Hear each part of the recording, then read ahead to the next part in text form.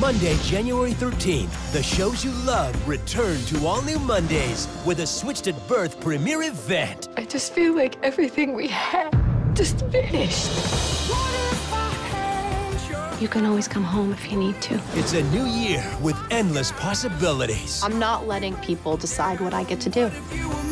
The winter premiere of Switched at Birth, followed by The Fosters. Monday, January 13th, only on ABC Family.